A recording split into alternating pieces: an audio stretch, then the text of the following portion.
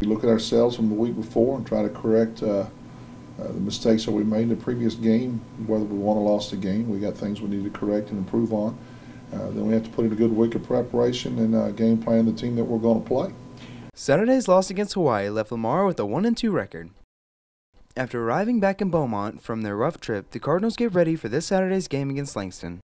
Having played three games this season, Lamar has improved, but there is still much to do before conference play. Well, I thought we were coming along at a good pace. Uh, I was very proud of the of the uh, steps we took from Louisiana Lafayette to Prairie View. Um, out in Hawaii, we, we did not take care of the football, and we didn't play as well as I had hoped. So, with that being said, this is a big week. Uh, we're home.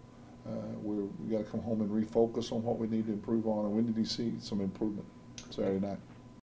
Playing their second home game this season, Coach Woodard looks forward to having home field advantage. It's going to be big again. Yes, I am. I thought that had a lot to do uh, with the Prairie View game coming out and seeing that large student body over there. And we need our students back and forth. They need to all come back that came to the last game, plus bring a friend with them. Uh, that was very encouraging for me, and I know for our team. It kind of energized us, and I think it's one of the reasons we got off to the good start. Was I think the crowd really helped us. Lamar and Langston face off at Provost Umphrey Stadium this Saturday, September 22nd at 7 p.m. This is Seth Crumpton, Lamar Video.